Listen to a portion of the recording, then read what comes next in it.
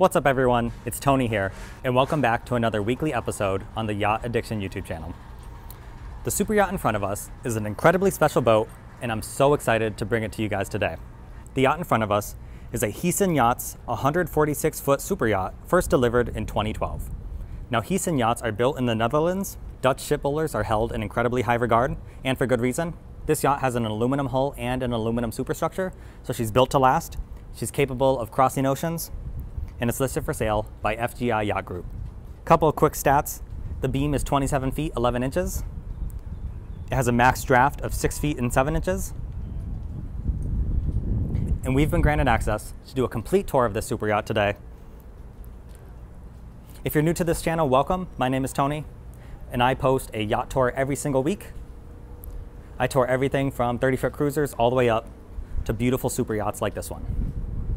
Now before we head on board through the side access door, I did want to quickly show you the transom, although we'll stand on it later in the tour. But I did want to show it off really quick.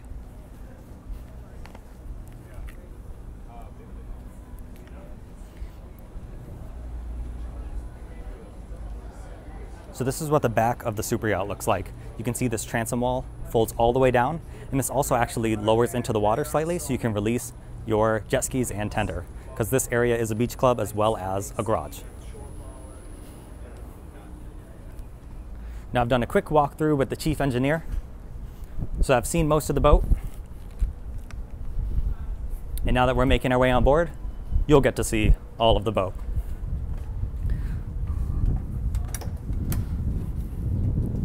So I think we'll head aft.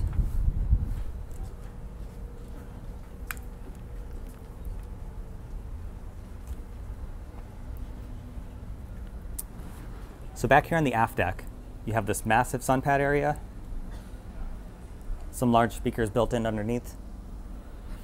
And we'll head down to that transom garage later on in the tour. Let's head inside. You'll see this beautiful rounded glass entrance. And this is a powered door. So on the floor here, you have this little foot pedal, which grants you access to the interior. You have a bar area right back here. Little seating area. And look at this beautiful main salon.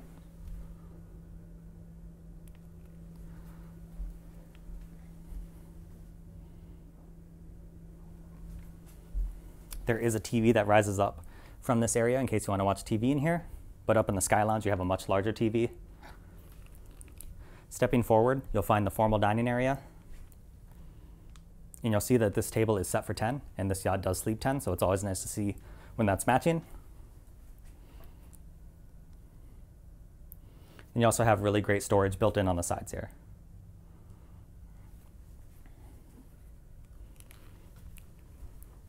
So we're going to keep moving forward. This is the formal foyer. So you have a side access door right back here. You have stairs going up and down, which we'll head to in a minute. But first, we're going to head to the main deck master cabin. One thing I'm noticing, these doors are extremely heavy and very sturdy. You can tell this is an extremely well-crafted ship. Here's the day head.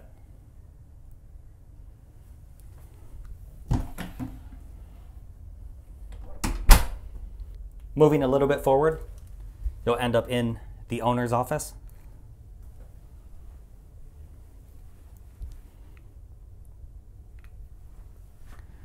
Then now we will enter the full beam main deck master.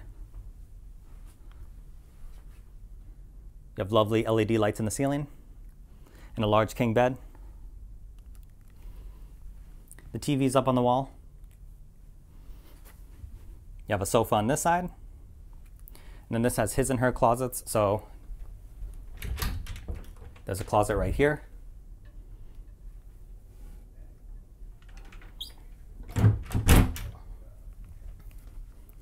Then the closet on the other side is much larger.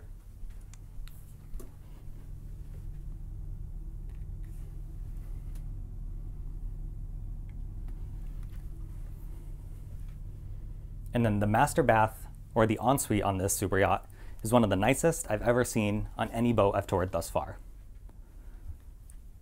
There's a beautiful floor. You have a nice tub on this side.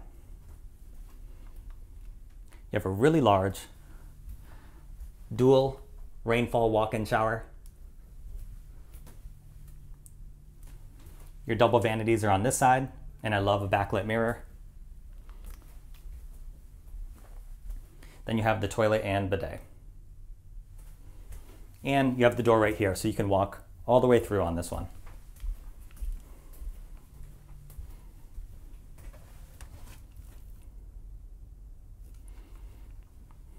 Let's get one more look at the master.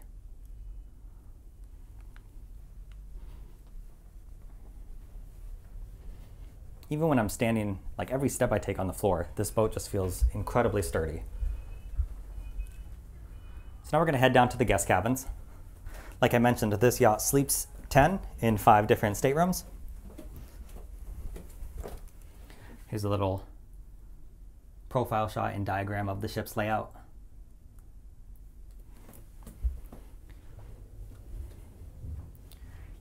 Here you'll find a queen room with its ensuite.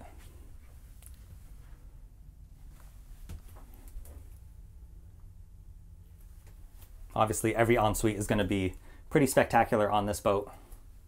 You wouldn't expect anything less. You have another queen room right here.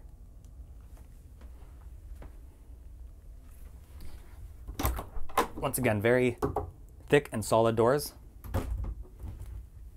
with a mirrored ensuite as the last one.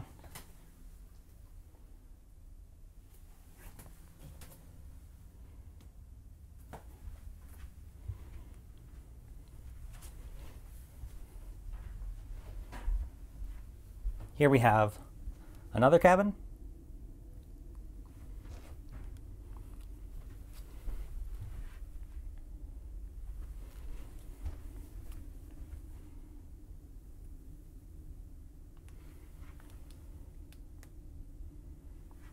And then I thought this room was pretty neat. Obviously this was set up for younger children to use, but it's two single beds. And this one has like the crib attachment on it. I shouldn't even say attachment, it's literally built in. But of course the ensuite is still spectacular.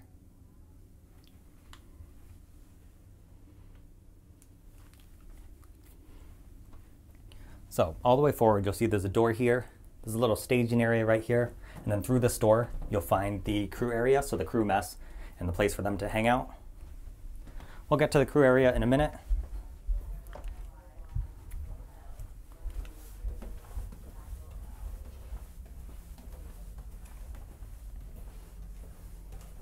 Before we head upstairs.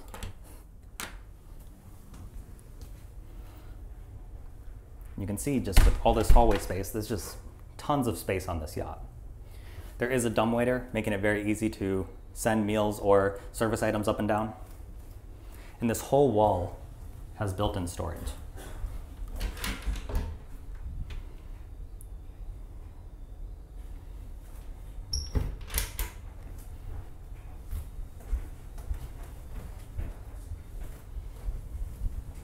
That hallway leads to the crew area. We'll go down there in a moment. But first, let's check out this awesome commercial kitchen. You can see all of your freezers and refrigerators.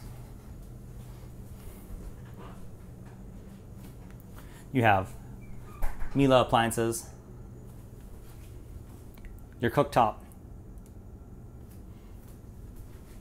and I'm told the crew really loves how the sink is built right here. You have some really large windows so what a fantastic view while working in here.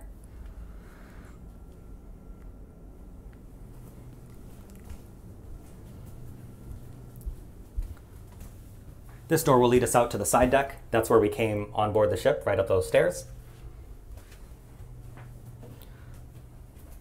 And then this is just another way to get up to the helm. But we'll go to the helm momentarily. Now this ship is fully crewed, so I don't want to disturb the crew too much, but I do have permission to take a quick peek. This is that door I was talking about that leads to the guest cabins. You have the laundry room. Here's the crew mess.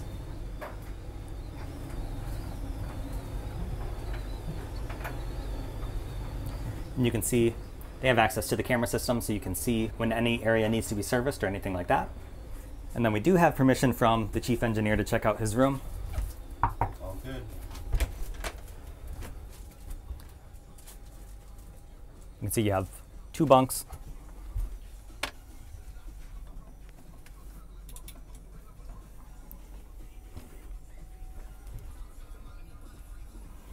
And then the ensuite.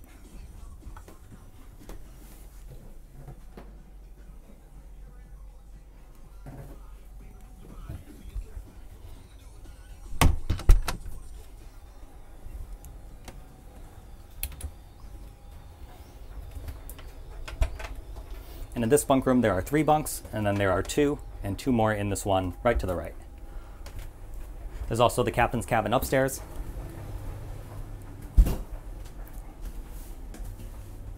So you can fit eight, possibly nine crew if the captain has a significant other, so they can share the captain's cabin. So basically eight or nine crew on this one. Thank you to the crew of Lady L for letting me check out their area We're getting lost in the maze here. You can see we're back in the foyer. And we've seen the guest cabins down below, so now we're going to head upstairs.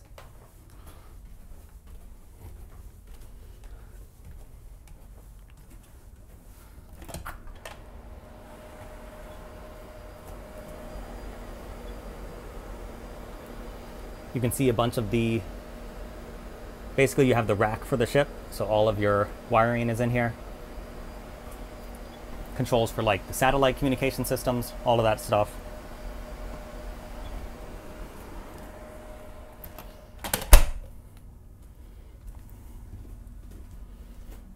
You have this little prep and pantry area in here.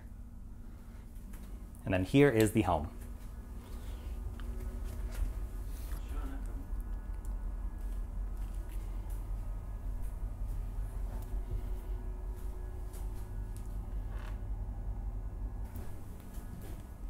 And then, like I said, the captain's cabin is attached to the helm. And we do have his permission to take a quick peek. So he has a desk area, a double bed, the TV up on the wall, closets in here, and then the ensuite. So this is a very spacious captain's cabin. I'm sure he has no no complaints.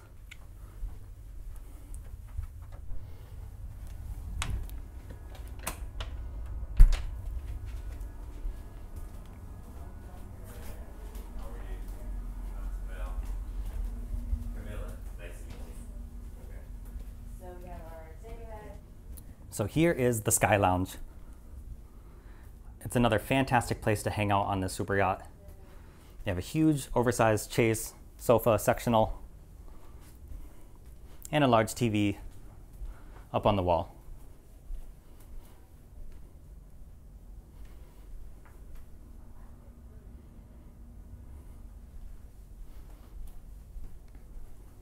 There's also another dining area up here.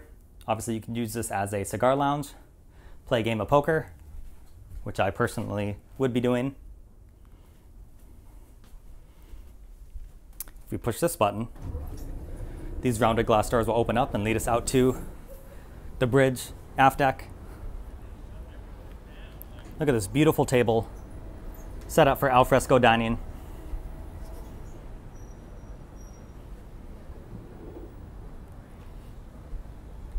And then if we go up these stairs, this will lead us to the sun deck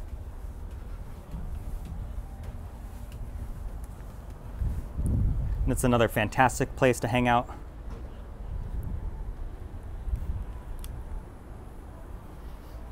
Forward, you have these extremely large sun pads, which flank the hot tub in the middle.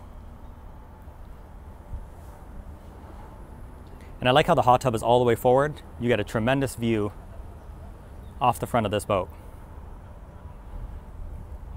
And you also have a ice maker and fridge in here, as well as a grill and a sink. Then you can see all of your satellite, radar, and other communication systems up here on the mast.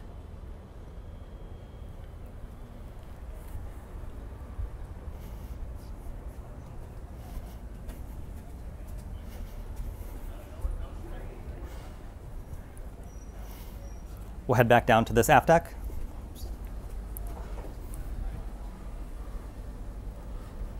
And we'll make our way forward on the side decks and go check out the bow.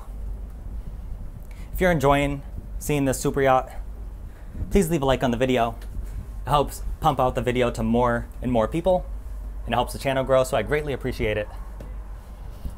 And also, if there's a particular part of the super yacht that you love, let me know in the comment section down below. You can see some life rafts stored here. There's also a tender stored here, and you can see the crane that's integrated right here, so it's very sleek. There is a whole garage to store jet skis and another tender, so that's not your only option. I love how this U-shaped seating area is built in, so it's a little bit lower than where you'd normally expect. And then you can see this little track system here. It looks like you can lay out some massive sun pads on a perfect angle to enjoy the sun. Then if we go all the way forward, you'll see the Lady L bell.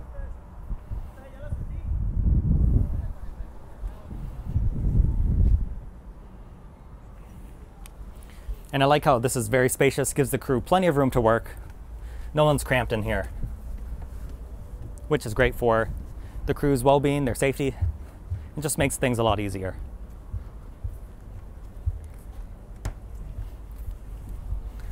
So now we're gonna go check out that garage I was talking about, as well as the engine room. This yacht has very impressive capabilities. The chief engineer told me they have made multiple ocean crossings. So if we step down all the way, you'll see this transom door, which normally will sit flush right here, will fold all the way over.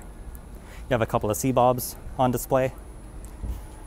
And here is a pretty versatile area. You could use this as a beach club when everything's down and out, but it's also where you would store multiple jet skis and another tender. So if you look right here in the back of the room, there are a couple of winch systems.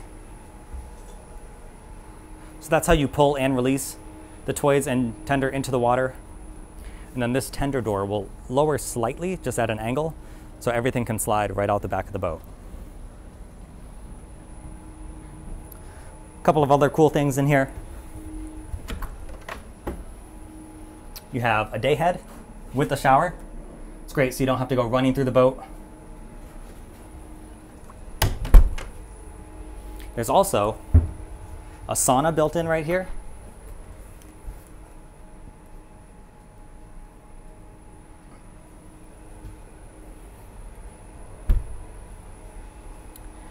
And then there's storage for few different systems.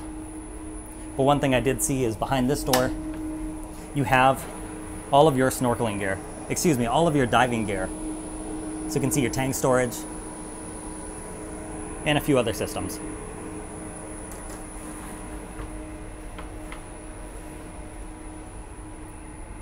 Now the engines are through this door,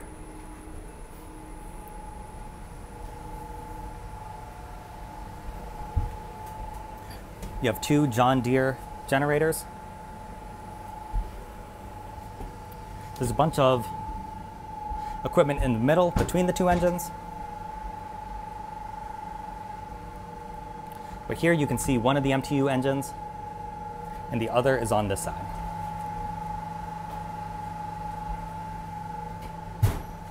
Now this yacht comes with a pair of MTU V16 4000 M90 engines they're 3,650 horsepower each. Gives you a top speed of around 24 knots, and when you're going flat out, you'll get about 1,200 nautical miles of range at that max speed. But you drop it down to 12 knots, you get about 3,000 miles of range.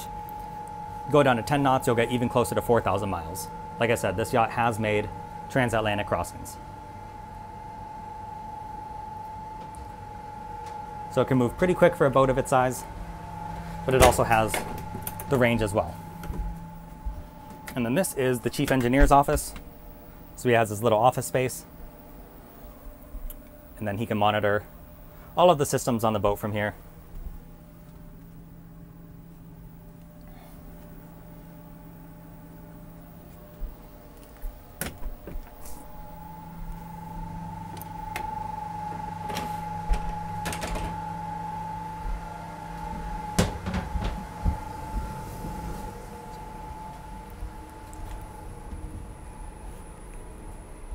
Chief engineer is actually hard at work, so I'll get out of his way.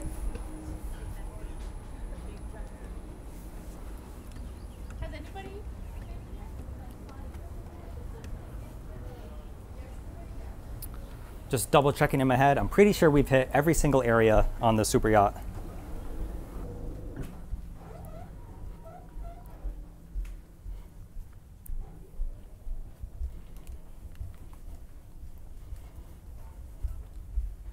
We're just moving around. I'm trying to avoid getting anyone on camera that doesn't want to be. So we're back in the master cabin, and I think we'll do the outro right here. If you enjoyed this super yacht, comment down below. Let me know what your favorite part was. Thank you to FGI Yacht Group for letting me do the tour. This listing of theirs will be linked down in the description below if you want to see it in greater detail. I personally thought this was one of the nicest super yachts I've ever been on. So I'm super glad I was able to tour it for you guys. And I hope you enjoyed. Until next time.